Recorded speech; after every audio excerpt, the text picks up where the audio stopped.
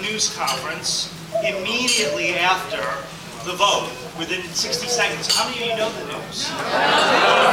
I'm going to read to you this statement, and it's the exact statement I told the press.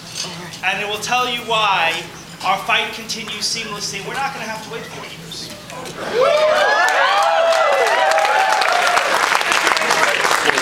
So let me read the statement to you now with apologies to all of you who heard it, but I think almost nobody did.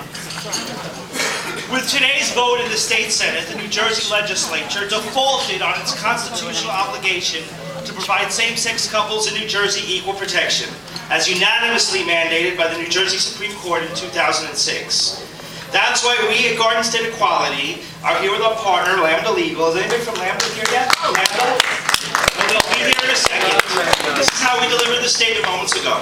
That's why we at Garden State Equality are here with our partner, Lambda Legal, which has an extraordinary track record of advancing LGBT civil rights in the courts. Now our organizations announce major news.